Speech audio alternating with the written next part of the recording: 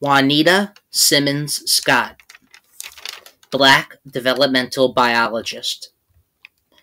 Juanita Simons Scott has done important research during her career as a biologist. But more far reaching is her work as an educator. In addition to planning courses of study for students at the university level, she has actively worked with grade school science teachers to ensure the highest level of skills and knowledge. Juanita Simons was born on June 13th, June 13th, 1936, on a small farm in Eastover, South Carolina. She was one of 15 children, and the family had no electricity or running water in their farmhouse.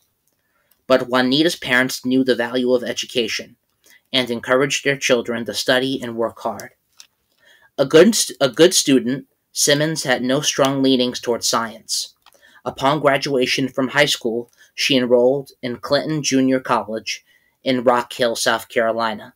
She found an affinity for infinity for biology, in part from her experience with plant and animal life on the family farm.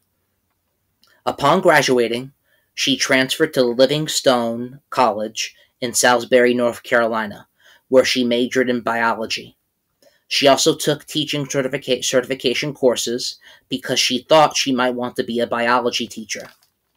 Simons graduated from Livingstone in 1958 and took a job as a high school science teacher in Hopkins, Hopkins, South Carolina. A year later, she married her high school sweetheart, Robert Scott, and the couple eventually had three children. In 1960, she enrolled she decided to enroll in Atlanta University for graduate work in biology. She was particularly intrigued by how certain, certain animals, such as frogs, can regenerate lost limbs. Her master's research was centered around the connection between some species' ability to regenerate and organ transplantation in humans. She was awarded her master's degree in 1962. A year after receiving her master's degree, Scott was offered a position on the faculty of Benedict College in Columbia, South Carolina. Her third child was born the following spring, and in the fall she took a position at Morris College in Sumter, North Carolina, not, not far from her hometown of Eastover. Morris was a small school, and Scott was the only biologist on the faculty. Scott returned to Benedict College in 1968 as an assistant prof- professor of biology. For the next several years, she taught and also conducted research on the effects of toxic waste on local waterways. But in the mid 1970s, she decided to switch gears and devote more time to education. Scott felt that many science teachers at the high school and even the college level were often ill prepared in actual teaching techniques. For this reason, she decided to take her doctorate in education rather than biology. She received her PhD from South Carolina State College in 1979.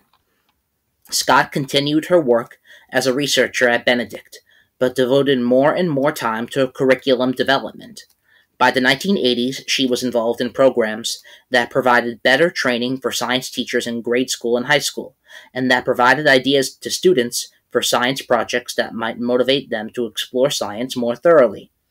In 1987, she won financial, financial support from the National Science Foundation for her work with 5th and 6th grade teachers.